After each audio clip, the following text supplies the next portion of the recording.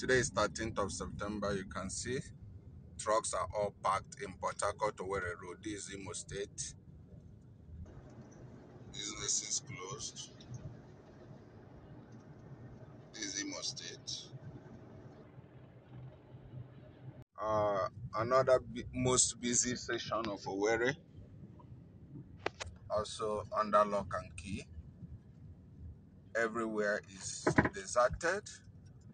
This is one of the busiest place and the hallmark of business center in Owerri. You can see.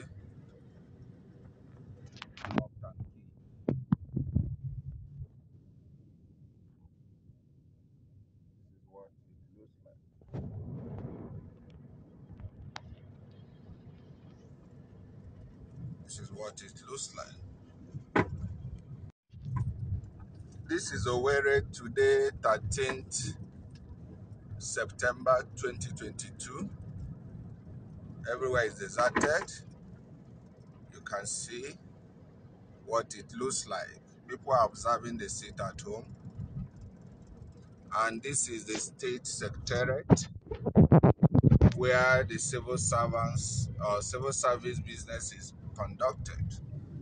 You can see people deserted state secretariat despite the visit.